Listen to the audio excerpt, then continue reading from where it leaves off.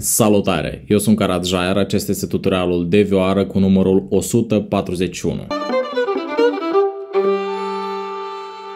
De data aceasta, voi, cei abonați pe Patreon, ați votat la sondaj o melodie de ascultare, o melodie ultenească de ascultare foarte, foarte frumoasă. Este de fapt o melodie pentru acordeon, înregistrată și interpretată în original de către Vasile Pandilescu și se numește Silviana. Un lucru frumos și sufletist, aș spune eu, pe care poate nu-l cunoașteți cu toții, este că numele acestei melodii a fost pus după fica lui Vasile Pandilescu, pe care o chema desigur Silviana, deci melodia i-a fost dedicată ei. Și putem simți chestia asta și în felul în care a fost cântată. Foarte, foarte dulce. Eu am păstrat atât tonalitatea originală a melodiei cât și forma ei. Am încercat totuși să o fac așa cum o simt eu piesa asta, dar păstrând stilul ăsta pe care toți îl cunoașteți, stilul lui Vasile Pandelescu. Acum, vă reamintesc că toate secțiunile din acest tutorial le puteți găsi foarte, foarte ușor în bara de timing a player-ului YouTube, deci este împărțit în patru secțiuni. În tempo, acolo unde cânt piesa în tempoul original, detaliere, unde vă arăt totul mai aproape la mâna stângă să puteți învăța piesa, direcțiile de arcuș și secțiunea structura ritmică, acolo unde desigur vă cânt piesa mai rar cu metronomul pe spate. Aceste secțiuni structurate în bara de timing sunt valabile doar pentru tutorialul complet, cel lung de aproximativ o oră, care este disponibil pe Patreon la școala de vioară online by Karadja. Și tot acolo veți găsi toate partiturile la melodii, toate negativele și desigur rubricile tehnice. Astea fiind spuse, nu uitați să mă urmăriți pe rețele de socializare vânzare pentru că sunt foarte, foarte activ acolo și acum mergem să interpretez piesa, să ascultați cum o cânt în felul meu și după aia să vă detaliez foarte, foarte amănunțit.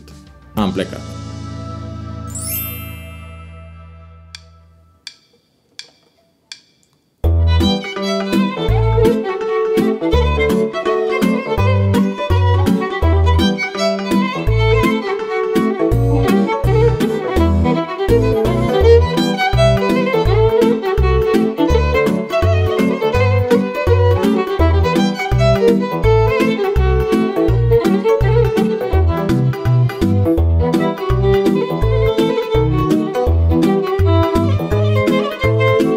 Aici fac apogiatura La spre Si mordent în jos. Apoi trill pe Si. Legat cu La. Apoi iarăși apogiatura La spre Si mordent în jos. Și La, Fa dez, Fa dez cu trill deja, da? Deci